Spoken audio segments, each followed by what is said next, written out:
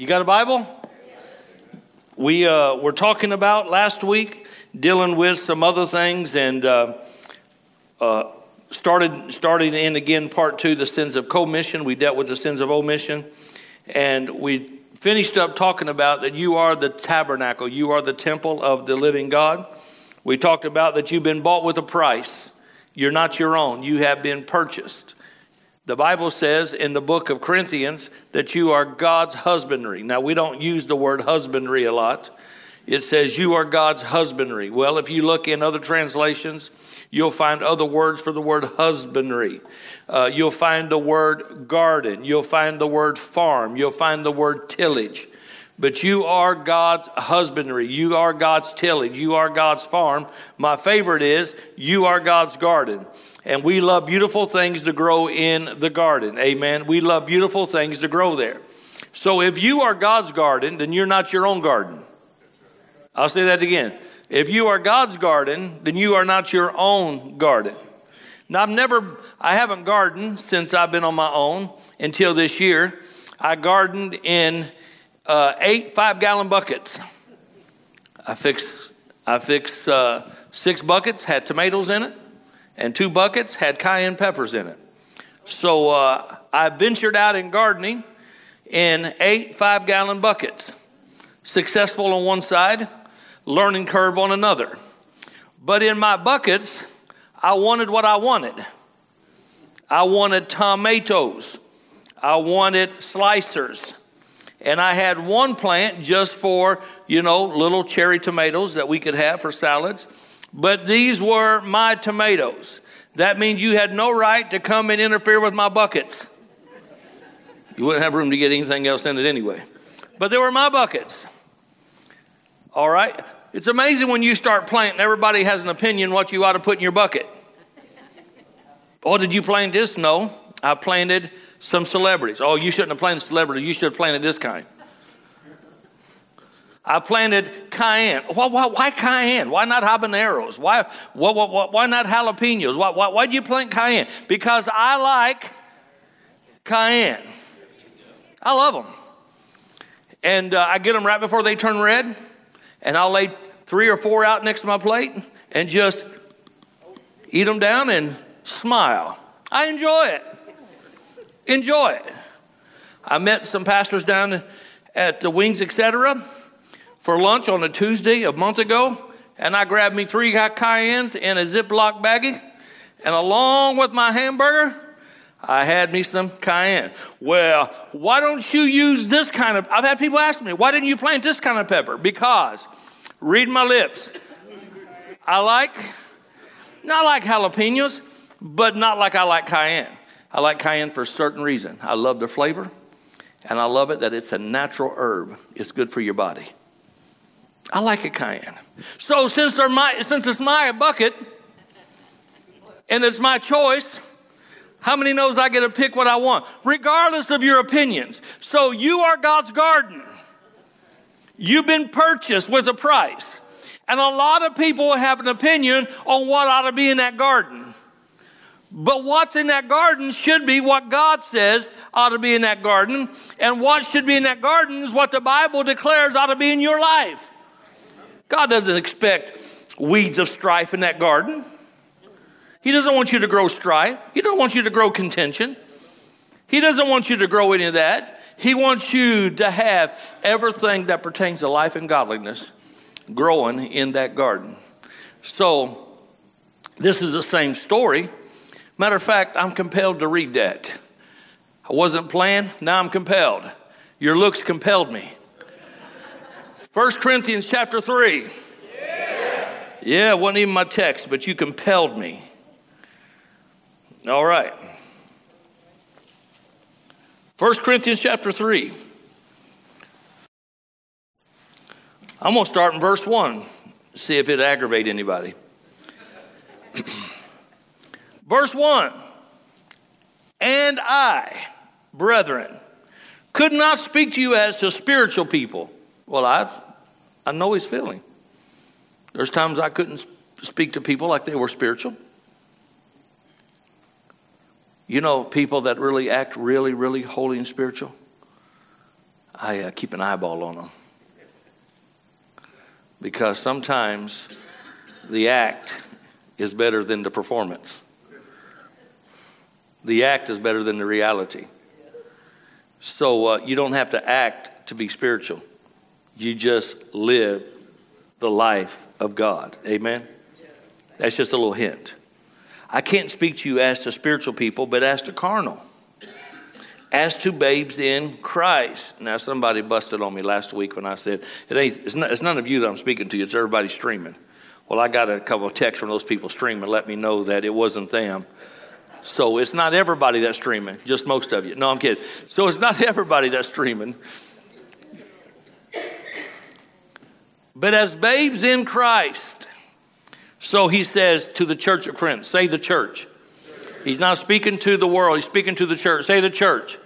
Paul said to the church that he planted, he was the apostle, he was the father. And he said, I can't speak to you like I speak to spiritual people, but I'm going to have to speak to you like you're still carnal, like you're still a baby in Christ. How could you dare call us babies and carnal? Well, because Paul said you acted that way, and he's going to explain to them why they were. And it's going to apply to what I'm talking about tonight, uh, since you p- compelled me. I fed you with milk and not with solid food or not with meat. For unto now you were not able to receive it, and even now you are still not able. And he just didn't slap them once. He didn't give them time to turn the other cheek before he hit the other side. For you are still carnal. For whereas there are underlying needs, so you'll stay away from them envy, strife, and divisions among you. How many knows these things ought not be numbered in the church? Can I get a better head nod? These things ought not be numbered in the church. You know, it takes just as much, it, it's, it doesn't take any more effort uh, to frown than it does to smile, or smile it does to frown. Matter of fact, I haven't studied, and I'm not I don't study the anatomy and your muscles in your face, but instead it takes, I heard somebody say it takes more muscles to frown than it does to smile. So I don't know what it is. So if that's the case, it's easier just to act like you can live by faith and have a good time than it is to look like somebody just kicked your puppy. Amen. Divisions among you. Are you not carnal and, be, and behaving like mere men? For when one says, I'm of Paul, and another says, I'm of Apollos, are you not carnal? Imagine, imagine that I have, so you have Paul, the founder of the church, the pastor. He had a rough way to go with this church. You realize he had to tell this church that he poured his life into, and they were doubting his apostleship. That'd be like me going to Kenya, and all of a sudden, Covenant Peace Church Kenya would a doubt my authority. What do you mean, doubt my authority? It was the gift of God and it was the leadership of the Holy Ghost in us that helped get us here. Why are you going to try to doubt it now? And they were and they doubted it. And Paul had to tell them, others can doubt, but you have no right to doubt because you're the very proof or the seal of my apostleship. You're the very proof of it. They were tough, man. Can you imagine the church of Macedonia had to provide for his needs because they didn't feel he was worthy to be supported. Thank God I didn't pastor that bunch. Thank God I pastor Covenant of Peace. Can I get a better amen? I've never struggled to fulfill the will of God because of this church knows how to support. Thank God. But this is his struggles. And all of a sudden he has a preaching partner named Apollos. And now there's divisions. Well, I'm really a Paul. Well, I'm really of Apollos. Who is Paul? Who is Apollos? But we're both ministers of the gospel. One sowed, one watered, but it's God that makes the seed to grow. Come on. It'd be terrible if somebody say, Well, I'm of Harbaum, and well, I'm still of Rothwell, and I'm still of this one, I'm still of that one. That'd just be crazy, wouldn't it? That'd be crazy. So let's just read on. I'll tell you what he said. Who is Paul? And who is Apollos but ministers to whom you believed, as the Lord gave to each one? I planted, Apollos water, but God gave the increase. So then, neither he who plants is anything, nor he who waters, but God who gives the increase. Now, he who plants and he who waters are what? One. Are we in this together? We're all in this together. I loved when the, we all said this biblically. After 2020, that phrase kind of got to me a little bit. We're all in this together. Stay inside. Anyway. Now, he who plants and who who waters are one, and each one will receive his own reward according to his own what? Uh huh. Now, wait. You're not going to receive your reward according to my labor. Let's get this right. You're not going to receive your reward according to my prayer life. You're not going to receive your reward according to Don's prayer life. You're not going to receive your reward according to, you know, anybody else. You're not going to receive your reward according to anybody else. You're not going to receive your reward according to the way that we discipline ourselves. You have to do it yourself. Come on. Now, what one person walks in may benefit you, but there's something about you have to do something. Well, it's not about works. Well, it is here. It's not about the works of right. It's not about the works of righteousness. We know that's sealed. But here, each one who receives his own reward according to his what? That's like seed time and harvest. Don't expect a harvest unless you have a seed. You know, like it or don't like it, same way on the internet, people may not like the late great man Oral Roberts. There's people called him a liar, called him this, called him that, made, made accusations about him that didn't exist. And uh, he was building what they called back then the city of faith. Even in the 80s, I'd visit the city of faith, and he had a wonderful thing in there. And uh, Oral Roberts had multi millions. He wanted to he wanted to educate people in healing. He was so strong in natural healing, he wanted to build City of Faith and train doctors and have a place where doctors could go around the world and help people. And this was going to be the City of Faith. It was a massive, massive hospital. It's like a big research center now. But uh, he built that, and all of a sudden, all of his money just dried up. Dried up, dried up. Now, this was years before I even knew City of Faith or Tulsa, uh, before I got there. So I got the testimony, you know, in the 80s about this. And he was just, money just dried up. Money just quit coming in.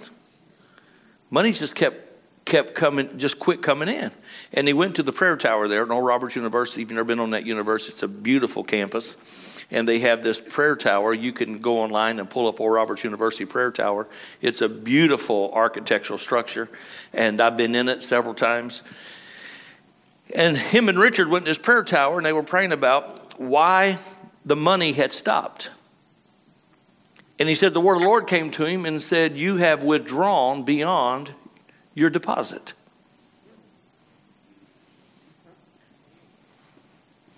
You have withdrawn beyond your deposit. God is God doesn't have limits, but it's like anything else. Seed sown, harvest comes. Even if he got a hundredfold return, he had withdrawn beyond it. Now, this is him telling it. This is not me trying to figure out what he's saying. He says, The Lord says, Stop praying. You have overdrawn your deposits. He told Richard, Stop, stop. Ain't anything no sense praying.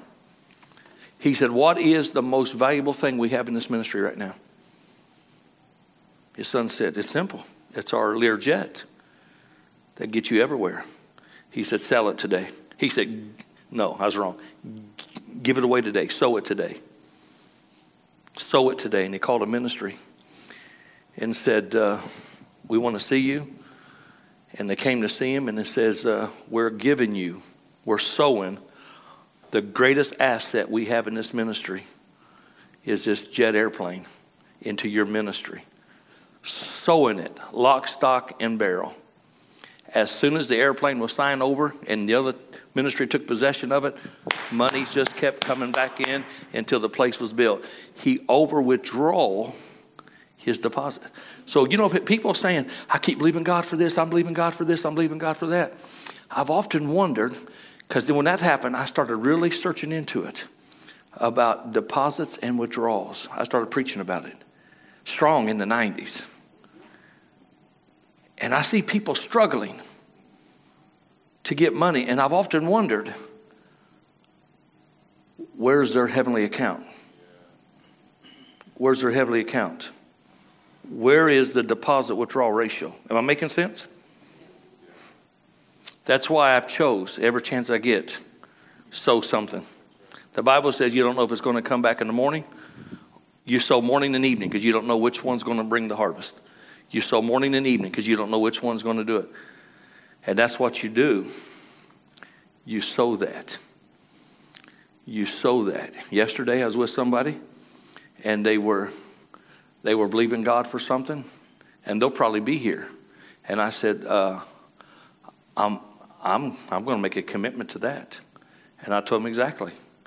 But the point is, the whole return. Why I continue to give, you know, in the fashion we give out of this church in my heart is because stories like that fixed my wagon a long time ago before my wagon got broke. It's best to get your wagon fixed before your wagon's broke. And I realized that I always want to be able to go approach the throne of grace and be able to withdraw from that account because we're always putting something in it. Amen.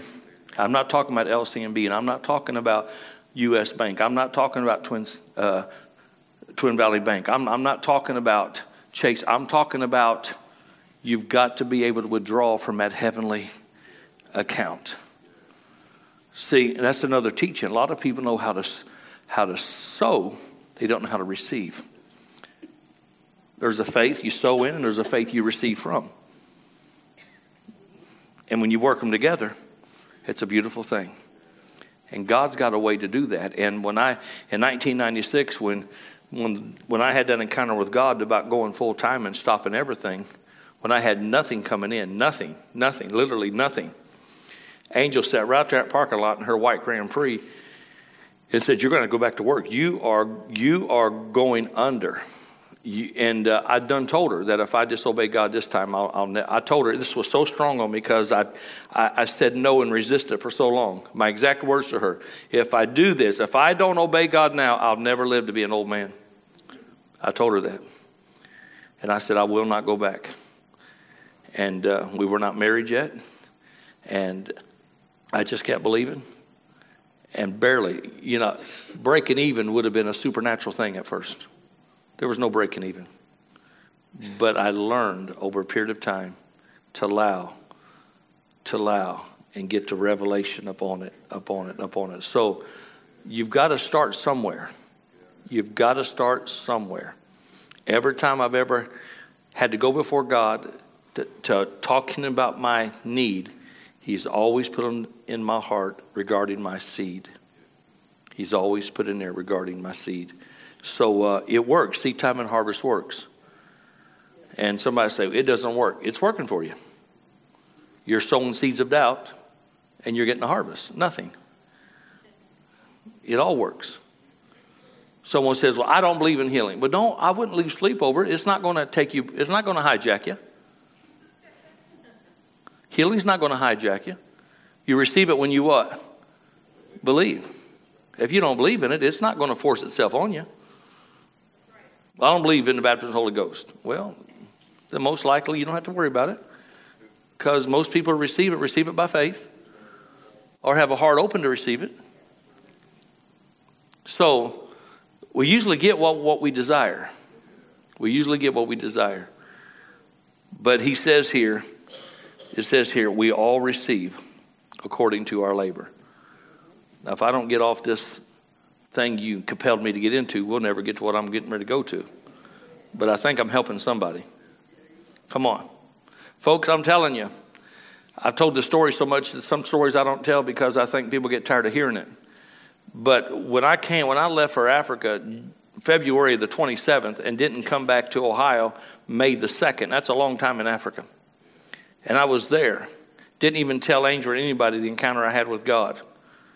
I laid on a cold floor, concrete floor, and said, I'm not going to eat or drink until I get to I understand what God spoke to me after that crusade in the city of Voi when He told me I hadn't taken up my cross.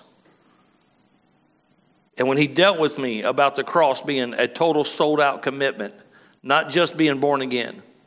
When I ride back into this town, I literally, in that one little bedroom apartment down a cat corner from Marsh, uh, store down there. Whatever it was now, it's empty now, is what it is. But I took the clocks off the wall, covered up what I didn't have, and I said, I'm not going. I'm not, I won't leave this house, and I'll never survive until I learn how to walk by faith. I preached it, I preached it. People has had me come in to do seminars on it, but I couldn't get this to work. And I knew it's God's will for it to work. And I just stayed after it. It took those four books, remember? What faith is, the real faith, right and wrong thinking, how to turn your faith loose. Those four books revolutionized my life. I had them in Rhema. I'm talking about, I'm talking about 10 years out of school. And I went back to those books and said, I'll learn to walk by faith all over again. In all of May, no place to preach, no money. Into June, my dad was a stroke patient. He would fall and trip. I took him over to the store and dropped him off. He was in there for a long time. And uh, I said, I better go check on him. He may have fallen, and they don't know anybody's out here. I worked in that store in high school. I knew the ladies that worked in the offices. That one yelled out and said, Hey, Ken, when did you get back from Africa? I said, You know, about f- four weeks ago. She said, I've been, I've been looking for you. The Lord put on my heart to give you something. Gave me $78. I'll never forget it. Not a 100 78. I took the tithe out and it was just the right amount I needed to pay my electric bill. That's how this thing worked, man. All of June, all of July, into August. And uh, in August, I went out to get my car and it wouldn't start. The starter was out. Remember that backslid car I talk about? That I want to pull up in Jack Cobb's driveway? The one I picked up Angel and took her out on our first date. Inside, outside looked good. I kept it polished, baby oil and all. But there wasn't much, man. But I took care of it. I took care of it. And uh, there used to be a parts store down there on Cherry Street called Rotofeld's. I called Rotofeld's Parts, and I got a, a price on what a starter was going to be. It's going to be $99. And I've been reading that book for over a month, almost into two months. What faith is the real faith? Right and wrong thinking, to turn your faith loose. I mean, I'm telling you, I'm energized. Praying in the Holy Ghost, not leaving the house, just only what I had to. And I said that day, Father, I stand here according to your word based upon this. If I had a place to preach, which I don't, but if someone would call me tomorrow, I couldn't go preach. I don't even have a starter. I couldn't, get, I couldn't even go. If I was called to preach, I couldn't go. And I said, I believe I receive. It was, it was earlier that day. I did. I believe I received that starter, $100 by that starter. Afternoon passed, evening passed, night passed. I went to bed that night, but it was something different than ever before. I didn't go to bed feeling like I was dejected, like I missed God. There was something in me still bubbling.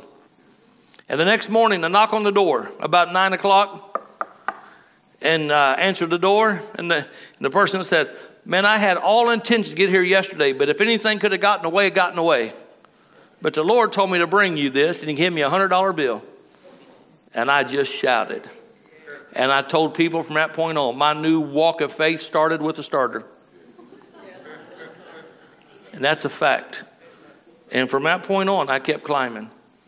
I kept climbing. In the September of that year, September of that year, all of May, all of June, all of July, all of August, the end of September that year, supernaturally, God brought me completely out of that debt and set my feet on a level ground. Still not much money, but I wasn't paying everything in interest. I wasn't paying everything in interest. And from that point on, I've been very cautious about this deposit and return deal. I've been very cautious about it. And uh, there's times it's been a struggle, but I know the only resistor is the devil. If I do my part, I can't sit there and be convicted like, well, you haven't been given, you've stole the tithe, you, you don't give, you don't sow. No, I can stand there with freedom knowing that if I fight through this warfare, this pressure, because I've told people for years, you don't have a marriage problem, you don't have a money problem, you don't have a relationship problem, you have a pressure problem. If you learn to beat the pressure by the word of God, the pressure will cease and the flow will begin. Amen. But if you don't do what you need to do, then the pressure will become real, real, real game stopping pressure. Is this all right? So, preaching one th- is one thing. Knowing where I started and what I did to make it work and seeing it work all these years is what changed. And I know it works. I know the desire it, works. But the truth is, God has shows no partiality. Folks, I told Angel yesterday, just yesterday, I said, I just don't, I couldn't see. At one time, I could not see. I could not fathom how I could do what I'm doing. And I know sometimes he feels this way on what he wants to do. It's hard for him to fathom. But I tell you, by the goodness of God, I could not fathom. I could not fathom doing it. But one day things started clicking together. And I didn't quit, and you're not quitting, and nobody quits. And we just keep going, and we keep going. When you have a dream to make ministry your life, this is where you live by it and you don't seem to be able to get there, something starts happening called hope deferred. But we do not let our heart get sick. We do not let our heart get sick. And we are going, every one of us has the right to fulfill the will of God. Now, it's not about compensated, not compensated. It's still about fulfilling the will of God for our life. Amen. The will of God for our life. I'm saying that to Don because we've had our conversations you know, and what's going on. And uh, uh, people's hearts, people's hearts yearn for God. So don't ever give up on your dream. Don't ever give up on your dream. What's made this church strong is because we got strong people in it that want to walk with God and see things work. So don't give up on it. I was just going to read these verses real quick but you compelled me. Let's go back to verse 8. Now, he who plants and who who waters are what? And each one receives his own according to his own. For we are God's fellow workers. Now, the New King James says, You are God's field. Some of your Bible says, You are God's what? Husbandry. This says you are God's field, you are God's husbandry, you are God's building. So the word field in another one is you are God's garden. So God has a say so of what goes in your garden. That means He doesn't want you to allow the world to plant in there. He doesn't want you to allow carnal people to plant in that garden. You keep that garden pure. You know what I love about growing tomatoes out of buckets? I didn't have to weed it because I bought all new dirt. I bought, went to Brubaker's and bought real topsoil. And I went out there to that Crystal Creek and bought real planting soil. And when I, and the whole time, no weeds. No weeds. no weeds. So you know what you got to do? You got to keep weeds out. You got to keep weeds of doubt. You got to keep weeds of strife out. You got to keep weeds of frustration out. You got to keep weeds out of the garden. You are God's garden. Now, God's not going to weed, He's going to expect you to keep the weeds out. Okay? So He's made you the caretaker over His garden. Okay? He's going to make you the caretaker over His garden. But it's His garden. Don't forget. So that means you don't have a say so, you just work it. Oh, come on, it's got to be helping somebody. You don't have a say so what's in it, you just work it. He has the say so. And as long as you let him say so, it's going to be a beautiful garden. It's going to be, people's going to say, "Man, I love what's growing in your life." Hey, hey, I'm just a steward over what's God's. And I'm just going to be obedient to what's God's. Come on. Verse 10 According to the grace of God which was given me as a wise master builder, I have laid the foundation, another has built on it. But let everyone take heed how he what? Builds upon it. For no other foundation can anyone lay than that which was laid, which is what? Jesus Christ. Now, if anyone builds on this foundation with gold, silver, precious stones, wood, hay, and stubble, each one's work will be clear, for the day will be declared. For, for, for the day will declare it, because it will be revealed by fire, and the fire will test each one's work and what sort it is. So eventually, it's going to be tried and tested. So isn't it good to come out shining? Come out and be right. Now, this is what Paul dealt with. He, he preached a sermon to a bunch of carnal people. I'm blessed. I get to preach a sermon tonight to people that are not carnal because you're here on Wednesday nights. Amen. They've said a long time ago people come on Sunday morning just may like church. People come on Sunday night, you know, probably likes the pastor. But those come on Wednesday night truly love God, I'd say. So, uh, but so you're, you're people that are really heart for God. So I love this book. And uh, you could just keep going down. Like verse 14 if anyone's work which he has built on it endures, he will receive a reward. So God wants you. God wants you to receive the reward, okay? Now, when you're looking at this, I started off by saying you are God's tabernacle. You've been bought with a price. And in doing this, being bought with a price, and understanding what it is to live free in Him and having clean hands and a pure heart, because we want to build a sensitivity in us and become, become aware of what I call God conscious. To be more conscious of God than you are of anything else in your life. Have a God, consciousness. But you know, some people have a flesh consciousness. They have a fear consciousness. They have a uh, inferiority consciousness. But you got to become God conscious. You got to become aware of God. You got to become aware of God. I believe you can become so aware of God that God's here that, uh, and you can do this without being flaky. I was in a meeting, and I'm not going to mention names now because I was in a meeting in uh, Tulsa years ago at the Mabee Center, the big center down here on the Oral Roberts campus, and it was a conference, so it wasn't it wasn't there. And a certain powerful healing prophet evangelist guy was supposed to he wasn't supposed to attend it. But uh, I heard this guy get up and tell it. He got up and spoke it because he told someone next to him and the guy confirmed it. He got up and he said, uh, I just leaned to so and so, was one of the big, well known pastors in Tulsa. I, I said to him, uh, Brother so and so's here. He said, No, he isn't. He's not supposed to be here. He said, He's here.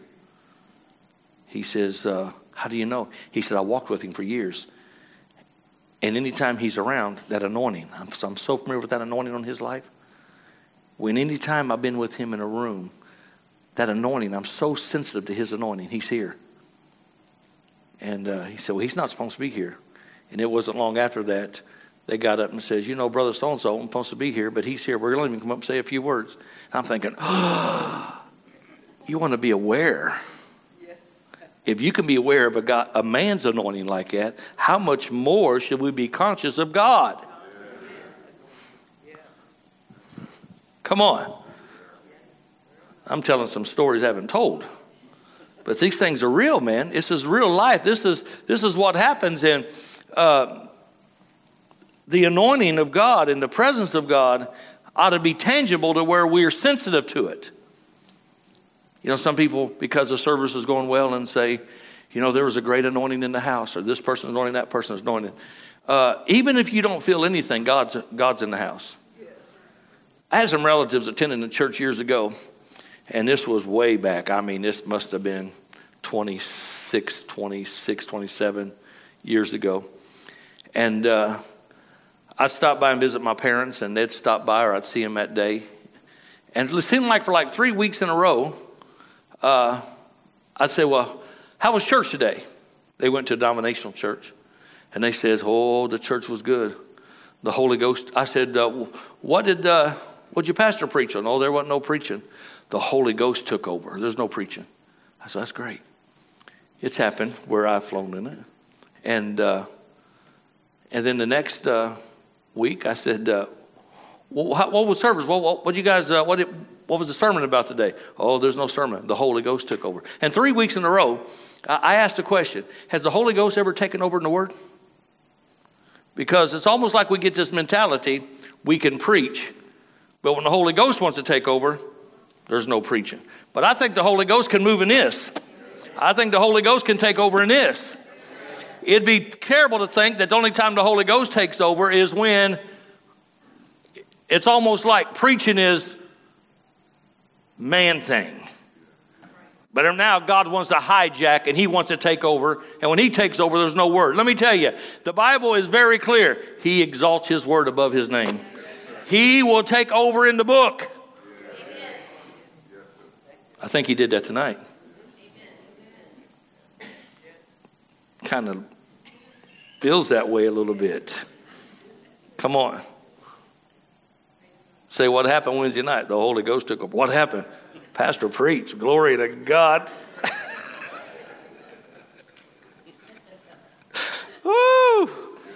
Feeling pretty good. Can I get an amen?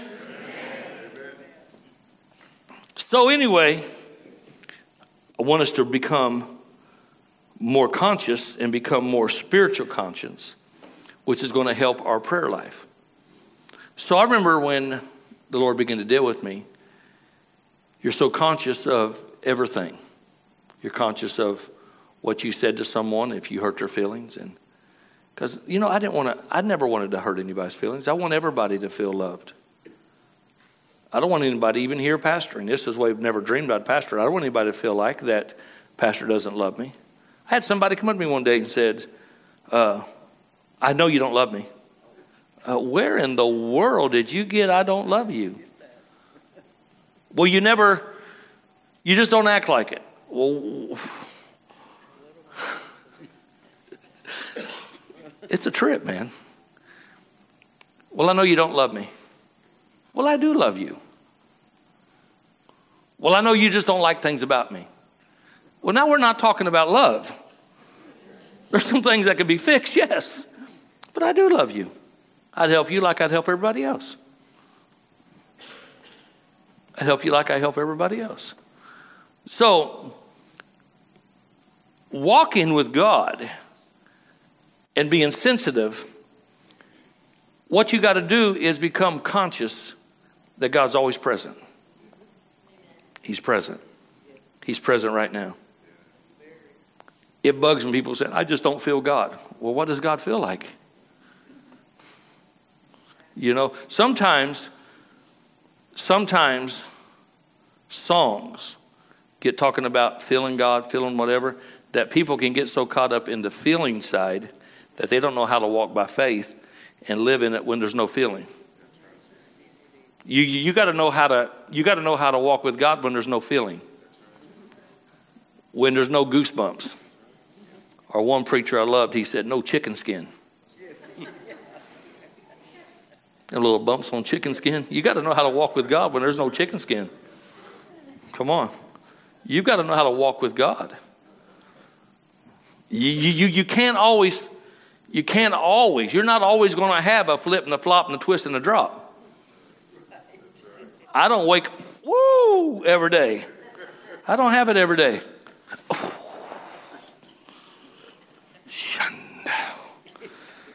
Some days you just keep walking it out by faith. I'm not moved by what I see. I'm not moved by how I feel. I'm not moved by what I hear. I'm moved by what I believe. And I believe God's present. God's a waymaker. Amen. He's a present help in a time of need, and I'm in a time of need, so therefore he's present. Hallelujah. Now, when the feeling's there, I like it too. But I'm not going to judge my walk on a feeling. Come on. There's some days in tax season with Angel, she's so caught up in that, I don't go around saying, You hadn't hardly talked to me. You don't love me no more?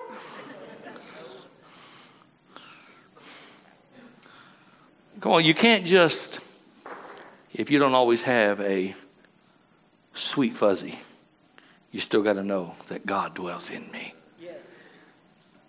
I just finished a biography on Benjamin Rush, one of the signers of the Declaration, one a great doctors, helped forge medicine in America. And uh, some of his final words were In him I live, and in him I move, and in him I have my being. So you got to know, you got to have some positional consciousness about you.